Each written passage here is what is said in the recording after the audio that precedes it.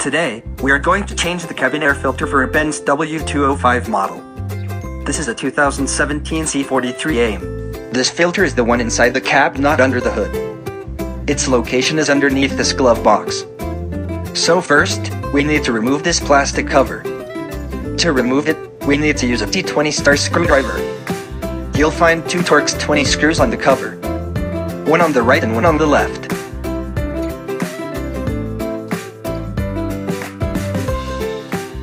To better remove the cover, take the floor mat out. When you take the screws off, unclip the cover to pull it down from the glove box.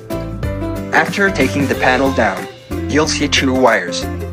Twist the sensor this way, it'll come right down. Then unclip this light and pull it out.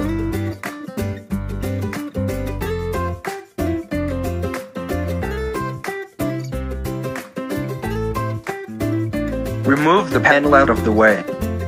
You should see the location of the filter now. To remove the housing cover, slide it to the right.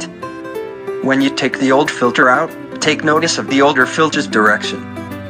You could take a picture of it just to help you remember the direction. For this car model, the hole on the side of the filter is facing up and the cut corner is on this side. Then we are going to replace it with our FreshenOPT 3186 cabin air filter. Put the new cabin filter back in the same way. Because space here is a little narrow, it is a bit tricky to put it back in. Try to squeeze the filter a little bit before inserting and twist it gently to find the right angle. When you put the new filter all the way in, slide the housing cover away by sliding to the left until it attaches to the clips. Put the sensor and the light back in.